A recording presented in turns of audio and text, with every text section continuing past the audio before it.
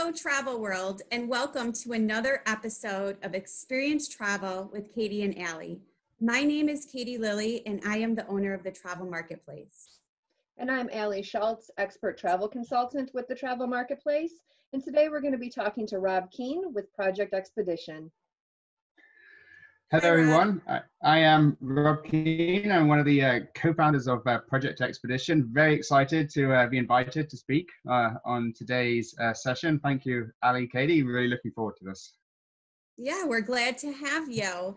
And can you introduce yourself a little bit to um, to everyone and kind of introduce your company as well? Would love to. Um, so Project Expedition, we uh, we've just turned five years old, um, and we are a platform um, of tours, activities, things to see and do all around the world. Um, and we, we, we, myself and uh, one other person, Jeremy, started the company uh, about five years ago, as we wanted to create something specifically aimed at travel advisors that really kind of focused on the curation of high quality local tour operators. Um, we we looked at that kind of particular vertical within the travel space and it's it's very fragmented. There's just so many different tour options out there and it's very confusing and challenging to figure out kind of who to book with. Um, so we decided to uh, start a company that, that attempted to do that. Um, it's changed a lot since but that was kind of the mission from day one. Nice. In terms of myself uh, funnily enough i don't have a background in travel. Uh, it was actually in uh, 10 years working in financial services. Um, and it was a company where um, we differentiate ourselves on service and support. Um, so we kind of took that approach when it came over to travel, and we felt not not just do we want to create kind of a product that's about quality, but it needs to be backed up with service and support. So those were kind of the two things that we kind of brought into the travel space and kind of mm-hmm. started out the company. And you know, I just want to tell my viewers that I couldn't agree more with your customer service because I know that myself and other agents um, at the travel marketplace, we've been um, using you, booking some tours and some of your products for a little over a year now. And there's been a couple times where I couldn't find a product in your system because my client wanted this private transfer that was mm. over an hour drive in Italy. And I just emailed you, and that same day, you had it all figured out for me, and I was able to book it. I mean, that's how easy it was. So I, I really do say that oh, that's, you that's and amazing company, to hear. Thank you. Yeah, the, you guys really do provide great customer service, and that's one reason why why I keep coming back to you guys. Oh, that's lovely to hear. It's um, it's it's kind of funny because even though that was our thing, um, we didn't actually advertise it um, initially when we started the company. Um, we felt it had to be very about the product, the technology, and things like that. And it was only when we started getting feedback um, that we realized one of our main differentiators was service and support. Um, so now, kind of, I mean, as you just heard, like when when I talk about the two things, one of them is just as simple as service and support, and it's it's being able to send an email and and know a real person responds to you. Um, we put a little live chat feature on the website, and I remember when we launched that in 2016, it was just kind of a little side project. We're like, let's try out, see what happens. Um, and now we get feedback almost every week of advisors that love using live chat. Um, but we didn't know at the at the beginning it would become a key part of the product. We thought, why not just try it out? It seems like a good idea. Um, and see what happens. Yeah, it's been great. So, can you um, tell tell us about some of the products that Project Expedition offers? Yeah, great great question. Um, and that's been one of our challenges, uh, kind of as we've grown, is really trying to figure out what the right products are to have in every destination. Because we we're always going to be that curated platform but you do still need to have a lot of choice. Um, like if you think of uh, one of the hawaiian islands you think of maui like you're going to need to have like a, a sightseeing tour uh, mm-hmm. so you're going to need a company that does that. You're going to need to then have water-based tours be it going snorkeling sailing maybe a sunset dinner cruise. Um, and then within that we want to make sure we cater to each kind of price category so we deliberately make sure we have an operator that does private tours, small group tours up to about 10 to 15 people, and then even just larger group tours. Uh, you will see things like hop on, hop off tickets uh, kind of on the platform as well. Uh, so we do like to say that even though it's curated, you're going to find something for each kind of price point, depending on where your client's at. Um, and most importantly, we, we will have all the different types of activities in a destination. So if you look at kind of the activity spectrum from low to high energy, if you will, you're going to see things like pasta making classes when you're in Rome. Um, you won't see that when you're looking at Hawaii, but you will see things like helicopter flights and uh, zip lining and things like that. So we definitely don't kind of limit ourselves when it comes to type of product. It's it's really very client driven.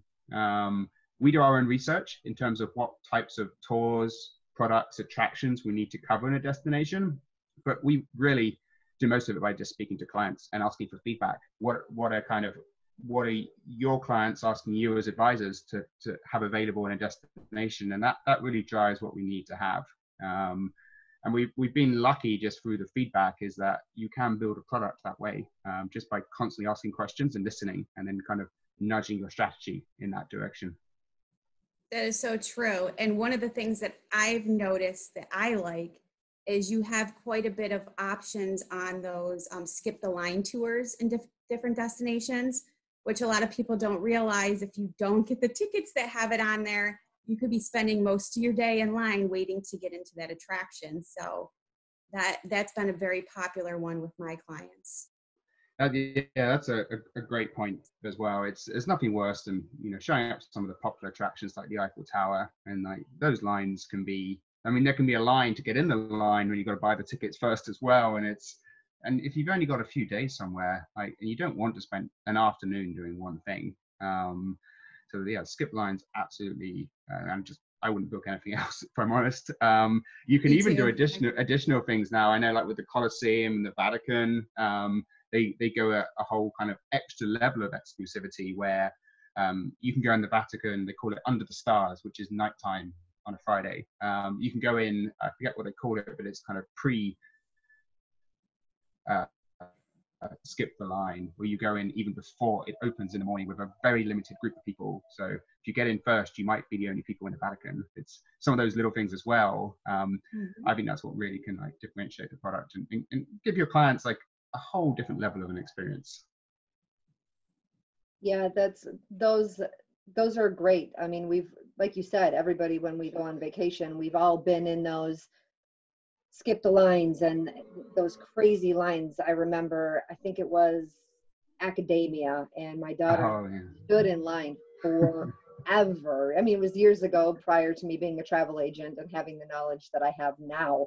But I want to say we were in line for about an hour and a half, two hours, and it was very worth it. But much much rather would have had the skip the line tickets and kind of gone right in rather than waiting for an hour and a half. And it was a little chilly when we were in florence so those those are really great. Um, another thing that i have noticed is you also offer a lot of products in the united states. And i think after the travel bans are lifted i think we're going to see a lot of us travel before we start seeing some international travel do you have particular destinations in the United States that kind of sell more than others or are more popular? Yeah, great, great question. And, and, and we, we share your exact same opinion on, on once travel does come back, we, we also feel it will be domestic. Um, we, um, about 18 months ago, we started focusing a bit more on domestic travel. Um, again, this was off client feedback. Um, when we started the company, we got more requests for places like Italy. Um, so we kind of worked on that and then kind of worked outwards from there. Um, so we actually have uh, just over 2,000 products in the United States, um, which sounds like a lot, but then you've got to keep in mind there's so many popular destinations. So we are still working on them. Um, for us, like the, the top destinations, it's places like Hawaii, Alaska was up there, but primarily shore excursions so for, for cruise, cruise passengers. And then within kind of continental US, uh, East Coast cities such as New York, Boston, um, and then down in Florida as well has been popular. Um, and then on the West Coast, San Francisco, uh, those those tours have been popular. And the other ones have been national parks, um, going to Yellowstone, Jackson Hole, those kind of things, which I've done myself. Amazing tours, and you really do need a guide for some of that because you're going to see so much more. You you really do. And as a person who's seen a lot of those national parks as well, when I was a kid, we drove across country. I'm from California originally. And so Awesome. when we drove across country and we did a lot of those national parks, and I, I do remember that, and I've gone back, you know, at, um, as an adult, and it's so easy. You can just get lost in them. Yeah, So right. they're, they're just massive, uh, beautiful. But I agree with that. Having a guide to sort of take you through those, it's really nice because you you don't want to miss on these little things that might not be in the guidebooks, but that an actual guide will know, and they're just spectacular. Right, exactly. And sometimes just a little bit of local knowledge that makes it fun, right? I And that's the kind of thing when once you come home and you're with your friends, it's it's those little tidbits that you're going to be going to be talking about and that you remember. Um, and it's, uh, I mean, I, I I've been places on my own, and you can absolutely see amazing sights on your own without a guide. Um, I mean, I tend to find more time. I'll spend more time looking at my phone trying to figure out what it is, and then without the guide. But like, it absolutely, it's it's it, it it's a complete different experience having a, an expert guide there. And another thing, Rob, I wanted to ask you was about your cancellation policies that you have in place. Great, great question, uh, and obviously it's incredibly topical at the moment. Um, typically, um, it's called normal circumstances, if you will. Um, most tours uh, two to three days in advance, kind of no questions asked, 100% refund, very, very easy. Um, in terms of what we've changed this year, um, we really sat down in about the middle of March and, and we looked at two things. It's like, how can we improve that in terms of what the refund uh, po- policy is? And secondly, how can we make it even easier uh, for clients to just submit cancellations? Um, so we we upgraded just the entire system and the process for requesting cancellations on our side. Um, we put a link in all the vouchers.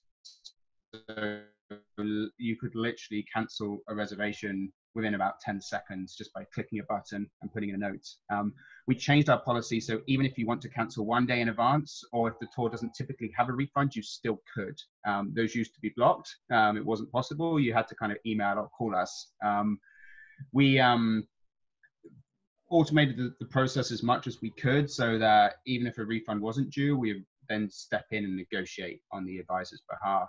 Um, I'm pleased to say we've actually had some kind of overwhelmingly positive feedback from our clients on how we've been handling these cancellations and refunds. So, as far as I'm aware, the, the process has been working very, very well. Um, and we've been trying to get refunds even when it's out of policy. And we've been pretty successful actually in getting those refunds. Um, us, we're a marketplace, we're partnering with local tour operators. Um, we do have to have those conversations with the local partners sometimes. Um, but we've been doing that on behalf of the advisors uh, and all of our clients. Uh, and as I say, for the most part, we've been getting those refunds and, and the feedback's been very, very positive. Um, so it really came down to two things. It was make the process as easy as quick as possible because as advisors, like there's so many things you're dealing with right now. Is like requesting a cancellation shouldn't take more than a minute. Uh, so we did that. And then if there was any kind of back and forth required, we handled it. Um, and as I say, the feedback's been very positive. I can say that that is very true. Us advisors really appreciate the support and help of getting refunds back for our clients because it has been difficult during this time right now. So we do appreciate it. So thank you. Uh, that's, that's good to know. And it's, uh, I mean, we're really taking a long-term view on all this. We we we know travel will come back. Uh, we're obviously not the only people saying that. Um, but when it comes to kind of day-to-day decisions, we can kind of tie that thought process in. So it's like, okay, well, one agent's canceling all of their trips this year with us. Okay, that's that's obviously a significant revenue hit. Um, and from our point of view, it's a hit, but it's also for that advisor. Um, and it comes down to well, what's the right thing to do in that situation. Uh, and for us, it's like, well, we want them to be a long-term partner. Um, and to do that is you've got to do the right thing right now. And if that client wants a refund, we should absolutely offer it. Um, if the client wants to reschedule, we could look to do that. If they want travel credits, we could get to that. But fundamentally, it's it's the money and the refund. So you've got to kind of do something there. And and there's no point trying to to save that in the short term if the advisor or the client doesn't want to. In our opinion, it's kind of let's think long term. We'll make it quick, easy, and helpful right now. Um, and when travel comes back, hopefully those advisors will remember us and come back to us then. Definitely. We definitely will be remembering the travel partners that had our backs. That's for sure. is there is there anything else that you wanted to tell our viewers today before we go? Um, it, it's really just if, if anyone has feedback, suggestions, or just needs some support, just don't hesitate to reach out to us. Um, we are a, a, fairly young company. We're five years old, uh, as I mentioned, and we're also a small team. So kind of everyone does know everyone. Um, and we are making these changes kind of as we go and as by having conversations that are often driven by clients. So if, if there are let's say even concerns, please reach out and tell us. Um, the, the, the, team that handles live chat, I'm talking to them every single day. Um, if we can kind of improve the way we're doing things, um, if there's work we can be working on for the future, kind of absolutely let us know. Uh, we'd love to hear that kind of feedback, um, positive or even constructive. We, uh, we do listen and action all of it. That is great. Well, thank you so much, Rob, for joining us today. And thank you everyone for experiencing travel with the Travel Marketplace and Project Expedition. If you'd like any more information or have questions on Project Expedition, feel free to contact us at the Travel Marketplace. Until next time, stay healthy, stay safe, and keep dreaming about your next travel experience.